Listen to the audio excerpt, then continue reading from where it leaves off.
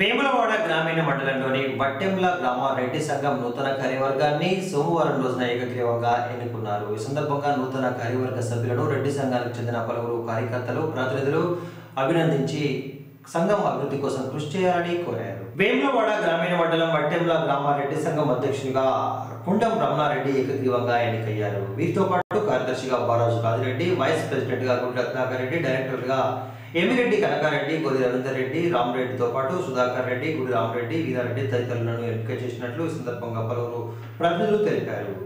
కాగా రెడ్డి సంఘం అభివృద్ధి కోసం తాము కృషి చేస్తామని సందర్భంగా పేర్కొంటూ తమను ఎన్నుకున్న ప్రతి ఒక్కరికి కృతజ్ఞతలు తెలియజేశారు.